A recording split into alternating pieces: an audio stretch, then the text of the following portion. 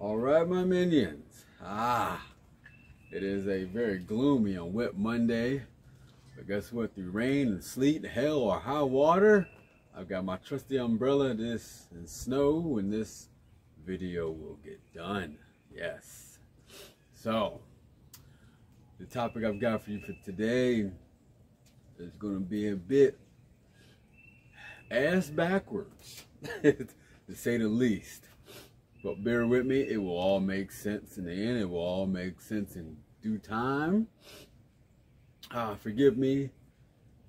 I don't believe in Virginia weather anymore. It's lied to me way too many times. It's hot and cold. Shit's got to stop. 9, 80 degrees one day. And as you can see, you can see my breath. It's like in the 30s right now. 30, 40s or something like that. Mm and it's my sinuses is kicking me in the face. And I'm just not feeling well on top of uh this past weekend was uh fun. I ate I drank I ate I drank and now my body hates me so I've got some detoxing and things to do. But anyways I want you all listen closely now. What I would like from you all to know and understand is I want you all to know failure. And I want you to know quitting. Now I understand I, am always preaching. I know y'all thinking, what the fuck are you talking about? Because I'm always preaching, never fail, never give up. Hard charge and all that. There's a reason. There's some rhyme and reason to my madness. Okay, so there's a reason why I'm telling you to know failure and know quitting. Quitting less so, but definitely no failure. Why is that? I give you I, I give you an example. My story here. Something I've experienced.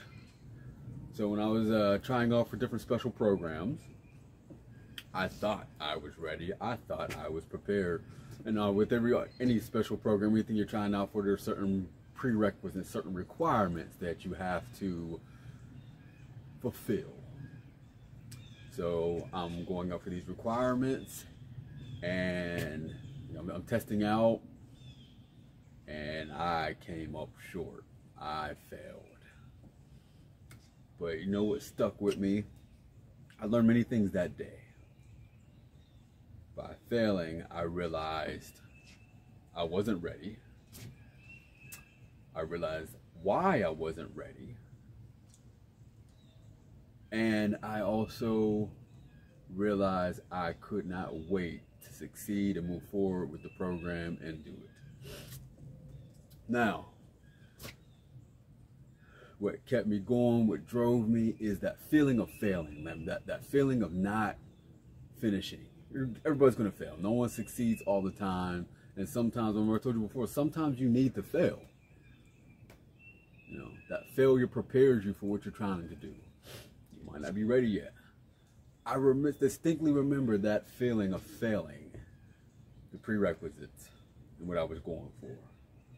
And I remember I never wanted to feel that feeling again. That motivated me, that pushed me to drive on, to move on, to keep going.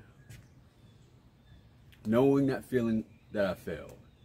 And I don't mind failing. I don't like to fail. Don't get me wrong. I do not like to fail at all but I don't mind failing. If I try and I give it my all, despite everything, and I fail, I can accept that. I did my best. I gave it my all. It did not work out.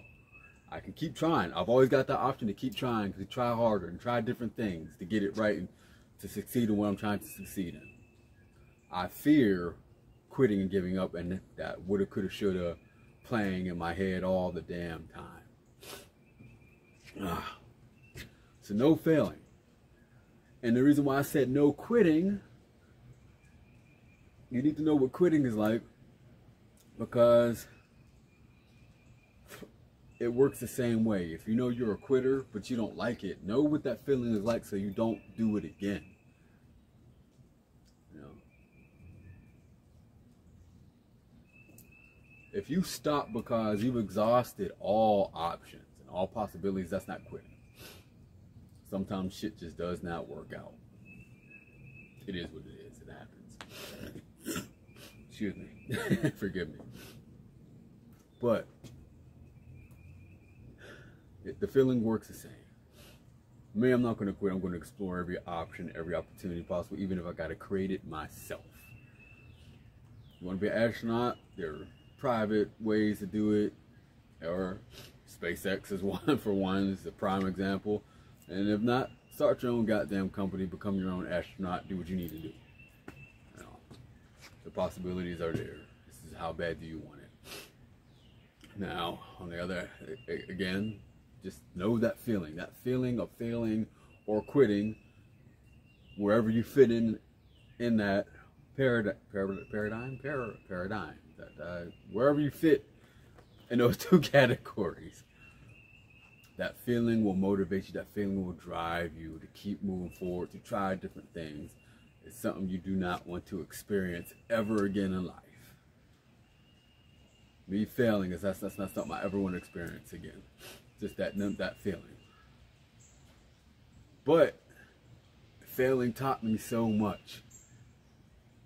So you might need to fail. Failing may prepare you for what you're trying to do.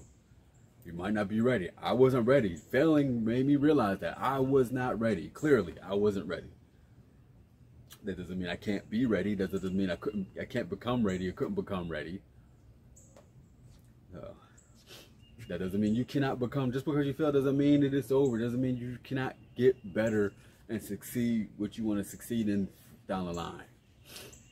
So know that, understand that.